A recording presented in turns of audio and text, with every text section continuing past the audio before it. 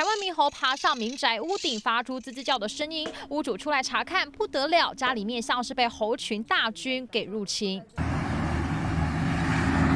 猕猴穿过种植浓雾搭建的架子，爬上窗户，一直对着房间里面看，似乎想要开门进来。还有猕猴直接闯进屋内，大摇大摆的在楼梯上走上走下。妇人跑出来赶猴子，但却不小心从椅子上摔了下来，后脑勺摔破一个洞。哎，就摔到下面来呀！后来我都头靠到这边来，靠到这边来。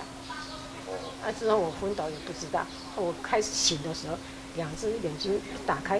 哎呦，我怎么满身都血呢？刘太太的后脑勺当时撞击到地面，鲜血直流，到医院缝了好几针，所幸没有大碍。而这个地方是高雄美浓区的光明路上，属于平原地区。但从去年开始，猴群数越来越多，从原本的两三只增加到近三十只。像我种的那个芭蜡也打了，也也结了，被它踩光光之后呢，就被我砍掉了。